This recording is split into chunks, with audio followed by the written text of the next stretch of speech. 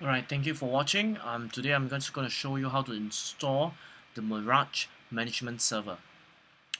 So for Mirage um, 3.6 Service Pack 1, there's a requirement, in fact, to actually create a separate Mirage uh, account. So basically, my domain controller, I have already done that. Um, I create a group called Mirage Admin I also create a service account which is part of this Mirage admin group called Mirage SVC.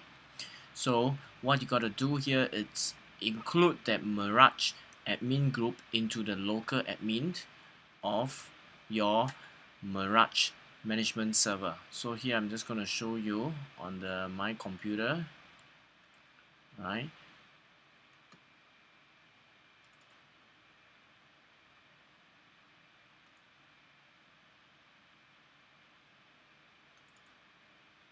I have my local admin here and I have already added in the Mirage admin group here. So what's inside this Mirage admin group is basically the Mirage SVC user. And um, you need to log in using the Mirage SVC user into your Mirage management server. Alright? As you can see here I'm really logged in as the user and this user must have the DB creator in your database. And this installation I'm using a separate machine for the database. Alright I'm not using the built-in SQL Express.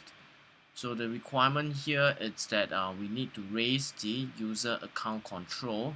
Because when it's using the user account control you cannot do a double click um, by just installing it. So I'm just going to show you how it's going to look like uh, you'll be prompted with this.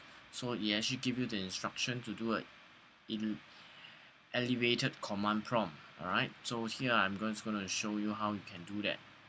So basically we just need to go to your command prompt right click run as an administrator proceed as yes when prompted. Now I'm just going to go to my CD-ROM right and uh, let's go to the Mirage servers and here we see again I'm just going to run my Mirage management server for the installation. And you see that now is run successfully. Just accept the license agreement. So here my database server is a separate server. And um, I'm using a default instance name called MS SQL server. When you install MS SQL server R2 it, it will actually be that so I'm going to leave blank because if you were to specify it it will not work Alright, just take note of this. The SQL Server instance has to be blank if you are using the default instance name when you install the SQL Server. So I'm just going to click next. If nothing goes wrong, it will actually prompt you for the next one. If you are installing locally, you could use a local system account. For my case, I'm using an AD credential. So here, I'm going to just specify. So you can see here that Mirage SVC is the account that has been shown. Alright and here you will have to include your domain and group name. In my case is Mirage admin. Right if everything is successful you will get this screen and you can just proceed with the installation. Just note that you are not supposed to use any of the built-in groups. This is actually stated inside the documentation on how to create a Mirage account and group alright for use to do the installation right refer to my blog for more details and uh, for more information on how and what are the requirements that I actually use to set up this Mirage management server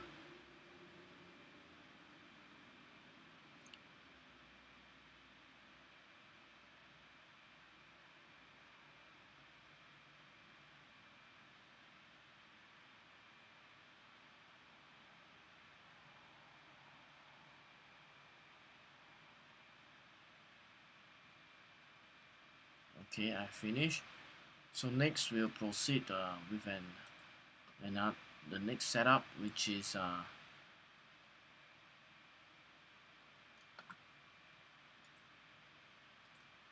which is the Mirage management console. So let's move to the management console. Same thing we have to do this in the elevated mode. Right which I will assume I'm not using a 64 bit so you gotta use a 64 bit one right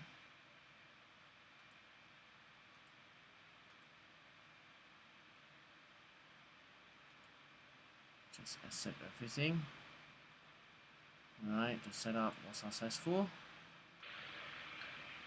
Right, the icon is actually on the desktop, so I'm just gonna go to my desktop.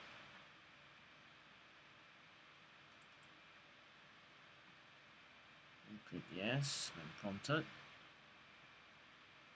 So here I'm just gonna expand this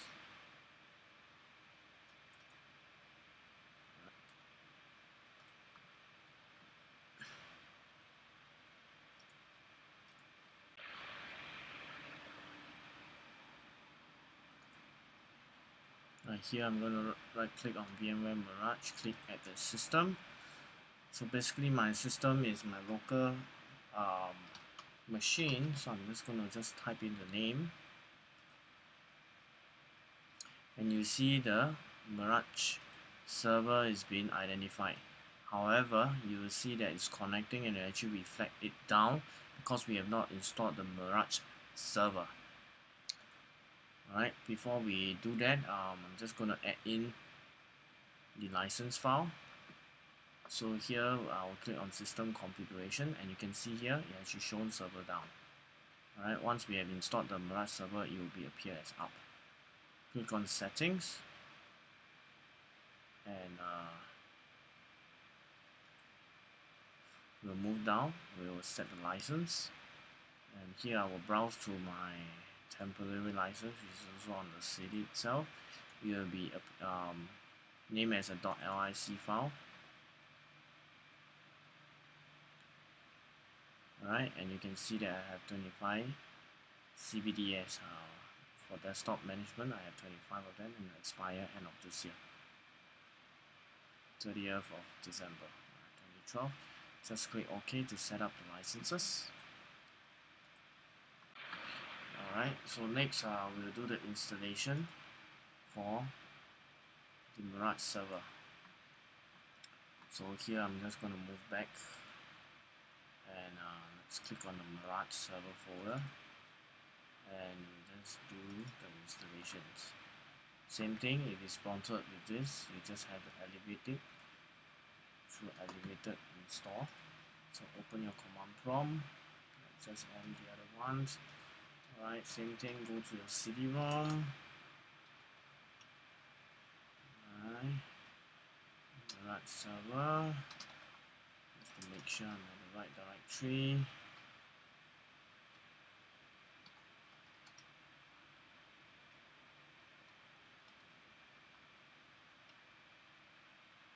Alright, uh, Alright, now we're gonna install the server.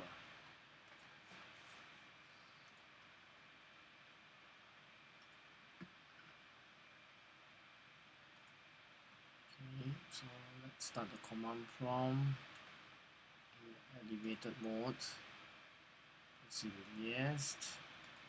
And uh, let's go to the directory. Server and um, server right click next. Agree to the licenses. Next. So I'm gonna change the SQL server here. Um, mine is a default instance. Let's just leave it as it is. I'm going to create a new local caching. Alright um, because this is new. So official I'm just going to leave everything as default um, which is 10 gig of space um, my apologies is 100 gig of space alright? So I don't think I have that amount alright um, my server. I'm just to change this uh, because I don't have 100 gig of space I'm just to change it to 10 gig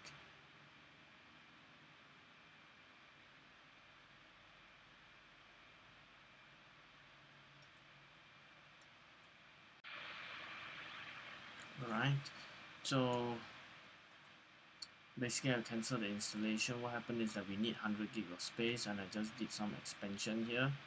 So I'm just going to go in and uh, manage my disk management and uh, previously our CD-ROM is actually on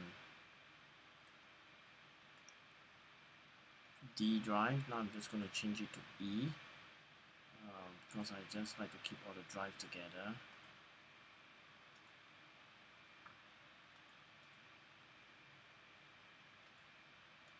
okay and now I'm just going to create all my volumes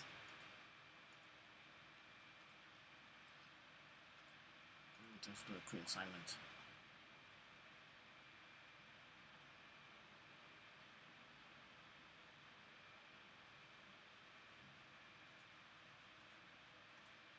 Okay. So this is done. So I'm now going to do a elevator install. So uh, instead of D now, let's go to E.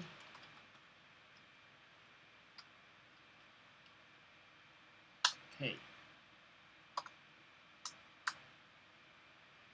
so I'm just to put this. Leave this as empty. Let's create a new one. And uh, because I'm to do a local caching so I'm just to leave this as D which I have just created. Click next. You should get it successful because I'm using a default uh, SQL instance so I don't have to specify it. So we have to create um, enter the credential for your user. And just did that and we just carry on with the installation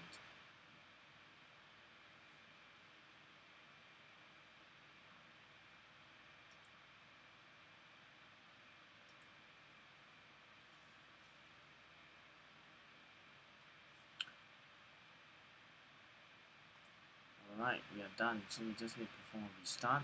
Let's just do that.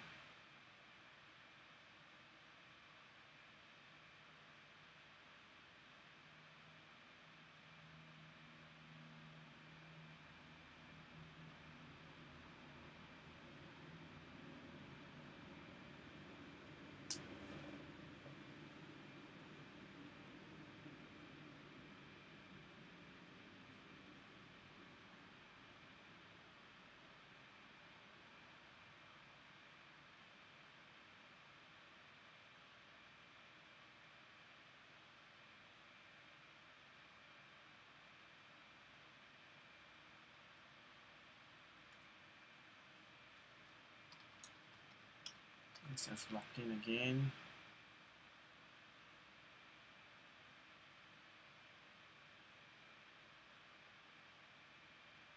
So I'm just gonna go to the Mirage console again just to make sure that this time now I believe the Mirage server status should be online.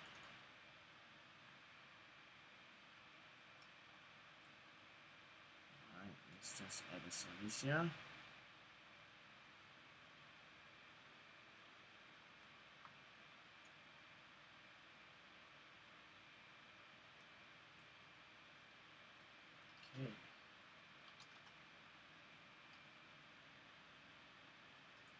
you can see that it's connecting.